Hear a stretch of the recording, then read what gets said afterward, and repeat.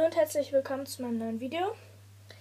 Das wird wahrscheinlich ein sehr kurzes Video, weil es geht um eine sehr kleine ähm, Kamark-Hengst-Konga mit vier Mitgliedern.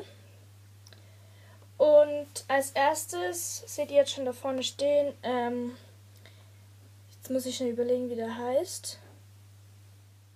Okay, ich habe den Namen vergessen.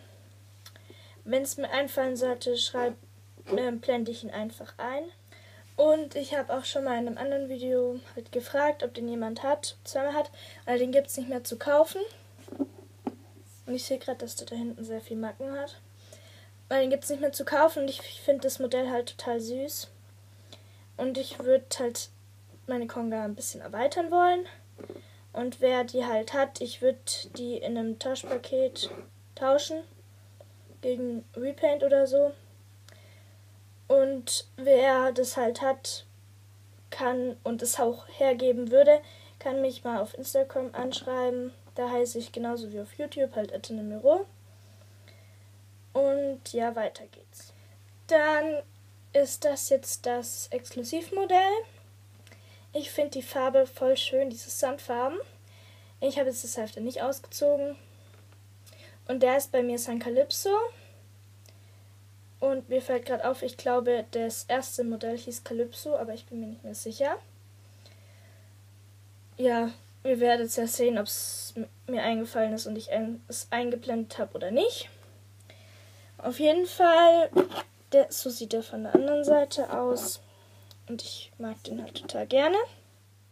Das ist mein erstes Repaint aus dem ähm, Kamerhengst. Der heißt Esco. Der ist ein, ähm, ein brauner geworden und hat vier weiße Beine und eine Plässe. Und die Beine werden schon langsam ein bisschen, die decken nicht mehr so richtig. Und ja, der hat einen Mähnenkasten bekommen. Und ich finde, der ist mir sogar ganz gut gelungen. Auch wenn es, ich glaube, das war einer meiner ersten sogar. Ja, das war Esco. Und natürlich gehört auch noch Quebo zu der Conga dazu. Das ist ein Kast und hat, also der hat den Schweif gekastet bekommen, die Mähne gekastet bekommen. Und das Bein hier hinten, damit es so aussieht, als würde er galoppieren. Ich habe ihn repainted zu einem Tigerschecken. Er hat hier Schattierung und hier, also nur so ganz leicht, hat ein dunkles Gesicht, hat, wie man sieht, überall Punkte.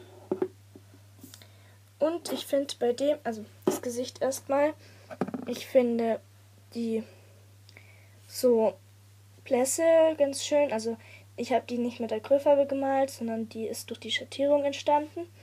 Dann finde ich sein Gesicht voll süß. Und von der anderen Seite.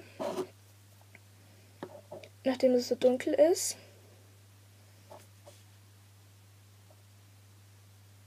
Ja. Der hat auch Real Eyes bekommen. Das war's auch schon mit dem Video. Ich habe jetzt nochmal meine kleine Konga dahingestellt. Ich hoffe, euch hat's gefallen und bis zum nächsten Mal. Tschüss.